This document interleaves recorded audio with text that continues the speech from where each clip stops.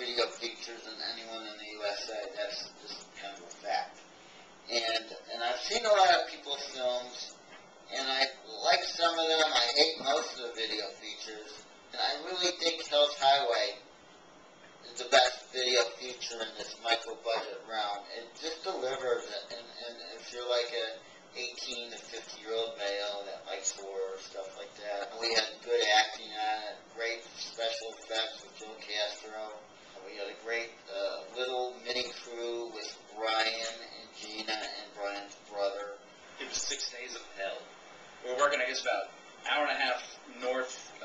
Los Angeles out in the Mojave Desert, uh, right in you know the middle of summertime when it's as hot as it can get.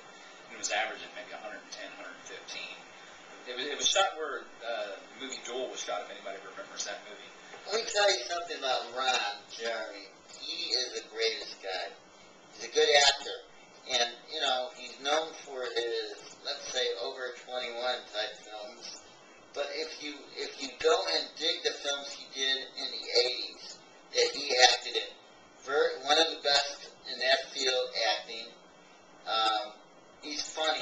He's really funny and working with him on Hell's Highway. Very nice, very personal guy. The two leads that are sitting back of the car, and they're, they're really like hot and heavy for each other. They did a great job in the movie. I had to think, am I the devil or am I a clone? Mine seems to be the devil. And I figured I just entered the bodies, you see, so I could really be the devil. So you thought you were really the devil in this movie? It, was, you weren't. It wasn't like uh, there was no scientific explanation for it. Well, I figured that was the bodies I used. It was easier to use the clone bodies, you know. They weren't even infiltrated with the spirit. Oh, See okay. my imagination. I do that. Phoebe Dollar, excellent. She just had the look. Her eyes were great. She's really, uh, she's, it, it was a movie made for her almost. Yeah, if she sold her soul to the devil at the turn of the century, how the hell has she been on the highway killing people unless she's been entering bodies? Can you analyze this movie a little closer, a little more than I did? I don't know who you could cast that would be better for the part. Movies like The Exorcist and The Omen, they made these movies about the devil, and, and these bad things happen when they made these movies. You know, like for Oh, yeah. So, do you think like when you when you make a movie about the devil, bad things can happen? It could have. Because there was a lot of bad things that happened during making this movie. To both me and the director. The director actually burned himself. Myself and the director, we went out, um, I guess about an hour north of Edwards Air Force Base to shoot uh, an explode, you know, a miniature set uh, with an explosion. As you're watching that point, I want you to think that behind that footage, behind that camera, is the director, charred and barbecued, and not on purpose. The hair on his head melted down, um, and he did. He looked like he had been in the sun for six days straight, but it had only been 20 seconds or so. We didn't take him to the hospital first because he was too stubborn Yes. to go to the hospital. So he comes to my house and soaks in my bathtub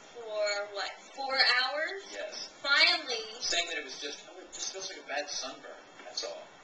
finally, four hours later, he comes out blistered. Major blisters. I've never seen blisters like this in my life. Never. It seems to be a cursed movie. I get a phone call from Jeff saying that he's all burned up. He was supposed to come and shoot a John Woo interview, get to meet the director of Mission Impossible, and he can't do it because he's scarred everywhere and got bandages, so he kind of missed out on that one. I've been with Jeff before when he's uh,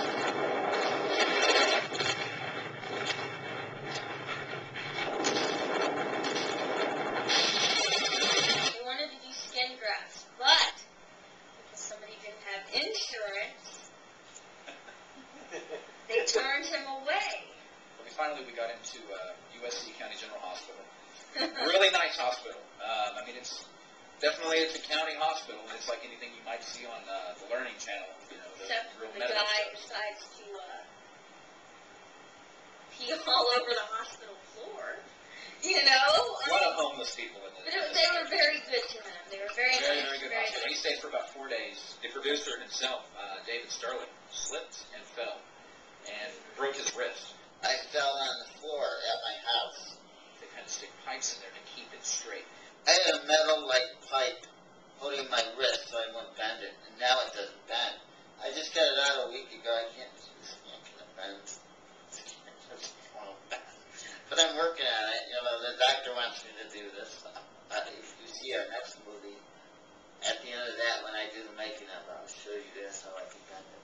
What else bad happened during the making of this thing? Um, We were messing with Satan in this movie. yeah. This is after we finished the movie. I got a and ended up in the hospital.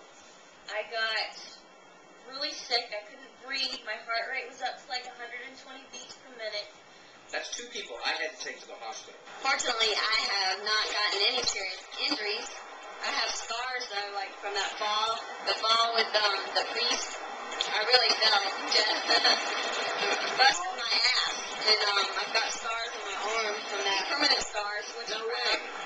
Jeff called me, wanted my help. He wanted me to help him with the dummy, which meant I got to drive the car and try to run Jeff over, basically, because he would hold the dummy. He tried to prop it up with a broomstick. It didn't work, so he held it with his hands and wanted me to drive very fast towards him. The dummy got underneath the car, wrapped around the axle, locked up the back tires, and the car skidded. Scared the shit out of me. It was fun though.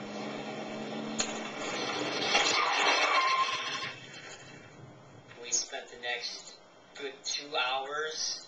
We jacked the car up, got in there with uh, Dull Bowie knives. dull Bowie knives because you know I, I didn't have any tools, and we just tore and tore and tore at the dummy until we could get it uh, from underneath the axle. It took about two hours, and finally got to the point where we could drive it again. Yeah. One of the lead players,